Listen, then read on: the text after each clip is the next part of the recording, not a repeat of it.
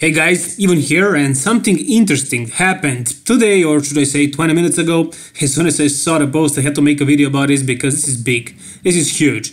This is Shawn Rhoden, your 2018 Mr. Olympia doing a vacuum pose finally. This is the first time we can see this. And it looks phenomenal. It looks great. But before we start analyzing this, let's go back in time. Let's go back in 2013, back when Shawn Rhoden was actually known for being the most aesthetic guy. During those years, Shawn was not the biggest one, but he was still placing very high due to his, well, I wouldn't really say conditioning. He was conditioned, don't get me wrong, but what he was known for were those aesthetic lines. He was representing everything that was aesthetic in bodybuilding during the early 2010s. But later, a little bit later, he had to get bigger. He just had to get a little bit bigger to be more competitive in this lineup, and he did get quite a bit bigger, like 10 or 15 pounds bigger, but in the process, his waist got a little bit worse. His stomach got a little bit bloated. And it seems like his arms were bigger back in the day actually, but everything else grew. So this was him. This was him and his stomach was perfect. Everything was there. I mean, he had the lines, he had a tight small waist, no distension, no bloating. Very, very aesthetically pleasing physique.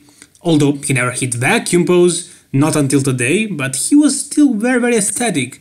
Everything was aesthetic about his physique. Here you can basically notice that his legs weren't as big as they are today, and everything else just got bigger. Wrist and head to the rest of the body ratio is different today, he's much bigger, so with this newly added size he was definitely able to place better. He was in that top 3 for a couple of years and finally he won the Mr. Olympia with this shape right here.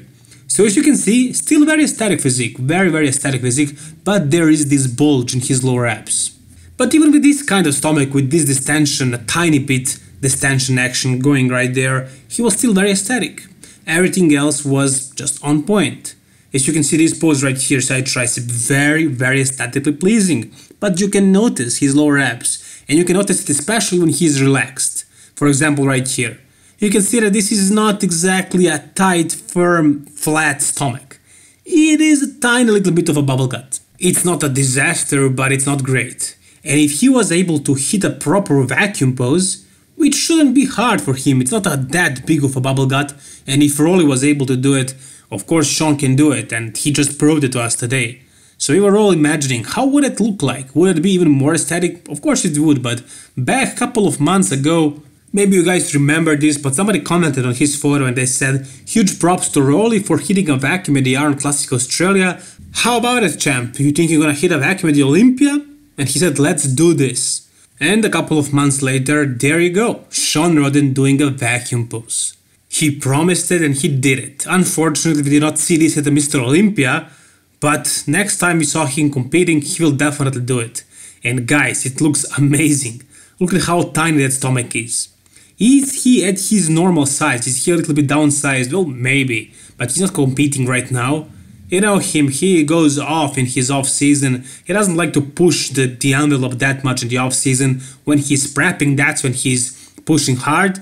And when he gets conditioned, that's when he looks the most impressive. So the truth is, the size is not a problem for Shawn. When he gets conditioned, he looks much more impressive than what he looks like in the off season. But as you can see, he managed. He knows how to do vacuum, which means his stomach control will be better. Also, vacuum is a very popular thing to do today, so it will make the show more exciting, and it is definitely enhancing a physique.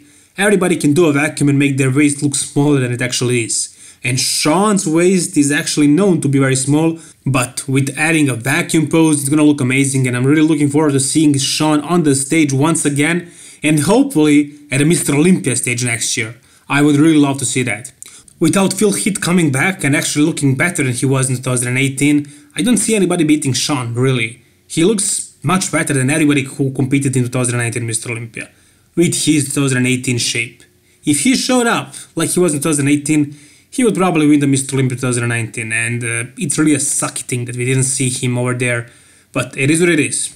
Let's hope this whole situation resolves by the time 220 Mr. Olympia comes because that's gonna be a crazy Mr. Olympia and I'm really looking forward to seeing Shawn competing over there.